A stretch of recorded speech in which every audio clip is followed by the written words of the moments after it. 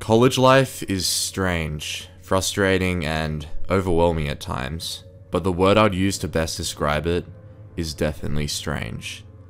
I'm in my second year of college now. There wasn't anything particularly interesting or captivating about the first year. To me, it felt like high school, except you had to feed and discipline yourself. For an unmotivated guy like me, it was terrible. I'm only really in college because of the fear I have of disappointing my parents, even though I don't really know what I would do without college, or what I plan to do after I'm done. I lived in a residence building first year and made some friends, who then went on to rent a house with for the second year. I live with five others. It's a nice place considering the state of some of the other student housing I've seen. The town in which I go to college is really old, as are some of the houses in the area. The one I live in was built sometime at the end of the 19th century, but was recently remodeled with students in mind. The only things left that show the house's age are the fireplace in the basement, which was sealed up years ago, and the radiator heating system around the house.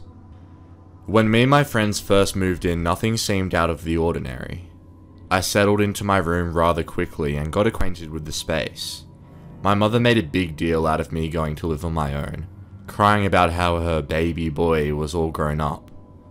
My father, on the other hand, grinned and told me to make the best of my time.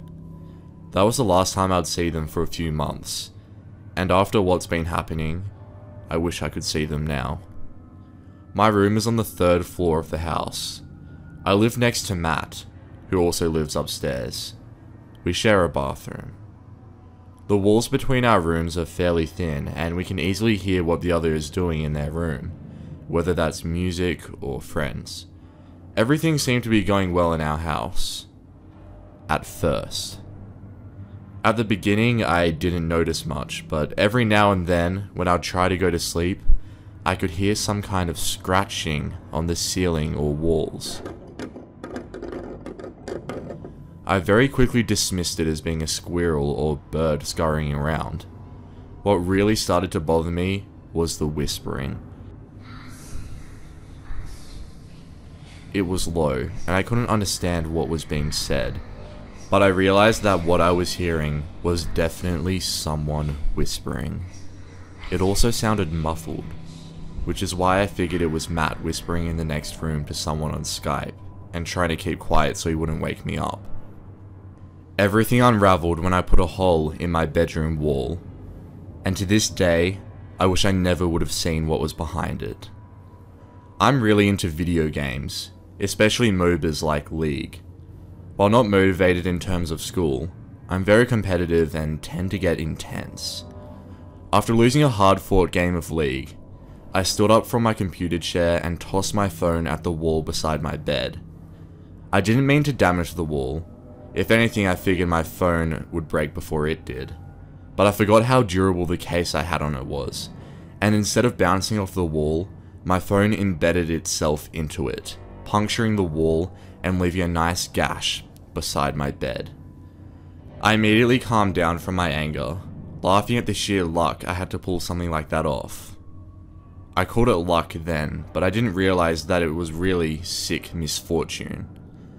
I at first thought about covering it up with something like a poster, as it was right beside my bed, but decided I'd leave it as it is, as a warning of what could happen next time I got mad. Suffice to say, that was a bad decision. It was winter now, and with that, the rodents like the squirrels and birds would no longer bother me at night. Finally, I could get some much needed rest. As my head hit the pillow and the house went quiet, my bliss turned to a newfound annoyance as the scratching above and beside me continued. Those fucking animals, I muttered to myself. I figured they had found a way into our attic for the winter. I made a note to tell the landlord later. Then, a sharp chill went up my spine as I heard whispering. This was nothing new, except I could make out what was being said now. Char, singe, scorch. The voice was cold. That's the only way I could describe it. It chilled me to the bone. No amount of blankets or heat could keep me warm once that sound hit my eardrum. Abruptly, I sat up. I was angry that Matt had interrupted my sleep as I had class in the morning. I decided to go next door and tell him to keep it down so I could sleep.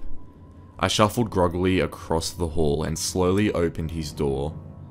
My mouth was half open, about to tell him to shut up, when my heart sank.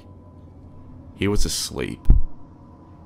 Slowly, I backed out towards my room and sat back on my bed.